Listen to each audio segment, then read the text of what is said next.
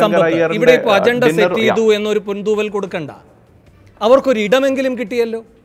അവർ പറയുകയാണ് നിങ്ങൾ ഏറ്റവും വെറുപ്പോടെ ഇത് കൈകാര്യം ചെയ്തു എന്ന്. സാർ എന്റെ ചോദ്യം നൂറ്റി എഴുപത്തി ഒൻപത് സമുദായ സംഘടനകളെ കൂട്ടിച്ചേർത്തുകൊണ്ട് ഒരു നവോത്ഥാന മൂല്യ സംരക്ഷണ മുന്നണി എന്ന് നടാടെ സി പി എമ്മിനെ കൊണ്ടും ഈ സർക്കാരിനെ കൊണ്ടും സ്പോൺസർ ചെയ്യിച്ച് നിലനിർത്തി.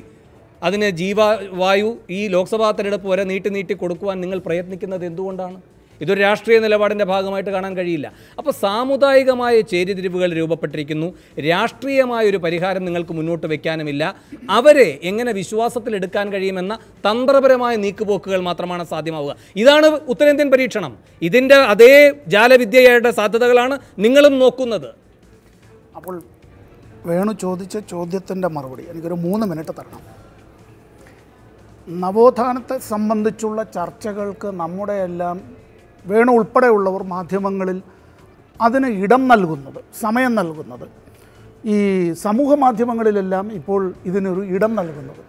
നവോത്ഥാനം എന്ന് നേരെ ചൊവ്വ എഴുതാൻ മലയാളി പഠിക്കുന്ന നിലയിലേക്ക് കുട്ടികളൊക്കെ വന്നത്. എങ്ങനെയായിരുന്നു കേരളമെന്നും എങ്ങനെയാണ് ഇപ്പോൾ ഇങ്ങനെ വന്നതെന്നും എനിക്ക് ഈ വേഷത്തിൽ ഇവിടെ ഇരിക്കാൻ കഴിയുന്നതും വേണുവിന് വേഷത്തിൽ ഇവിടെ ഇരിക്കാൻ കഴിയുന്നതും നമ്മുടെ എല്ലാം അവകാശത്തിന്റെ ഭാഗമായി മാറിയത് എന്തുകൊണ്ട് എന്ന് നമ്മളും നമ്മുടെ കുട്ടികളുമെല്ലാം പഠിക്കുന്ന ഒരു നിലയിലേക്ക്. മുമ്പെന്താ ഒരു സ്ഥിതി? മുമ്പ് ഇവിടെ ചരിത്രമൊന്നും പഠിക്കേണ്ടതില്ല ചരിത്രമെല്ലാം ഇതെല്ലാം ഏ ഹിസ്റ്ററി ലെറ്റ് ഇറ്റ് ഗോ അതെല്ലാം ഈ പറഞ്ഞ പോലെ വേസ്റ്റിന്റെ ഭാഗമാണ് എന്നുള്ള നിലയിലേക്ക്. നമ്മളെല്ലാം ഈ പറഞ്ഞത് കേരളം വേറെ ഒരു ഒരു ഒരു ഞാൻ അങ്ങനെ ഒരു പദം ഉപയോഗിക്കുന്നതിനോട് ക്ഷമിക്കണേ.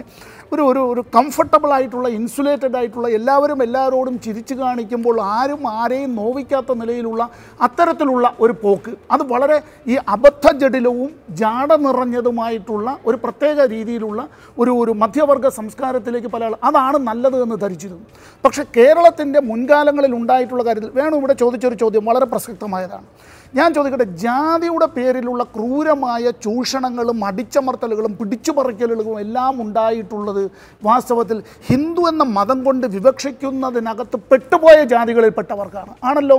അവിടെ നിന്ന് മതം മാറി ഇസ്ലാം മതത്തിലേക്കോ അതല്ല അവിടെ നിന്ന് ക്രിസ്തു മതത്തിലേക്കോ പരിവർത്തനം ചെയ്തു പോയിട്ട് വന്നാൽ അവരുടെ തന്നെ സഹോദരി സഹോദരന്മാർക്ക് നടക്കാൻ പാടില്ലാതിരുന്ന എഴുപതിലധികം പൊതുവഴികളിലും നൂറ്റി അൻപതിലധികം സത്രങ്ങളിലും പഴയ തിരുവിതാംകൂറിന്റെതാണ് ഇത് മുഴുവൻ ഗവൺമെന്റ് റെക്കോർഡാണ്.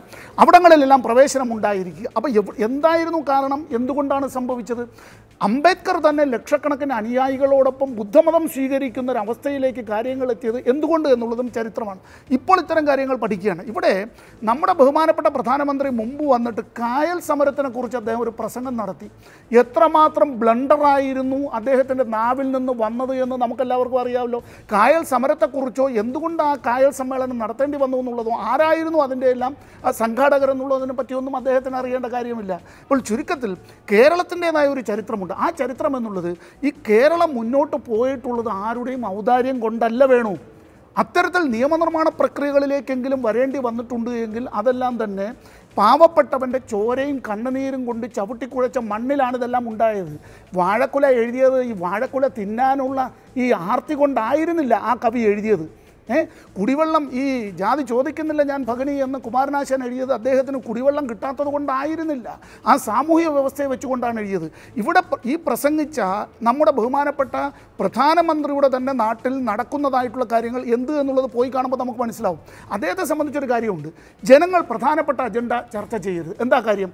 ഒന്ന് ഈ നാട്ടിലെ തൊഴിലില്ലായ്മയാണ്. ഇരുപത്തിനാല് ലക്ഷം വേക്കൻസികളാണ് കേന്ദ്ര ഗവൺമെന്റിന്റെ കീഴിൽ ഒഴിഞ്ഞുകിടക്കുന്നത് എന്ന് പാർലമെന്റിൽ നൽകിയ കണക്കാണ് ഒന്ന്.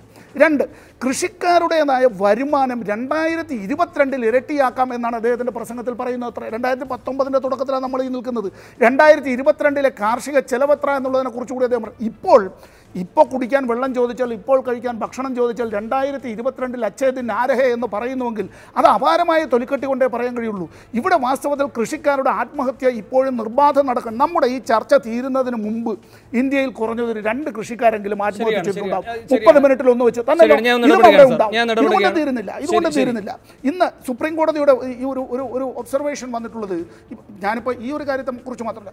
ഉത്തർപ്രദേശിലെ യോഗി ആദിത്യനാഥിന്റെ ഗവൺമെന്റ് വന്നതിന് ശേഷം ഉണ്ടായിട്ടുള്ള ഫേക്ക് എൻകൗണ്ടേഴ്സിനെ സംബന്ധിച്ച് 49 സുപ്രീം കോടതി മരണം, പറഞ്ഞിട്ടുള്ളത് 1100 ഏറ്റുമുട്ടൽ. ഇതൊക്കെയാണ് നടക്കുന്നത്.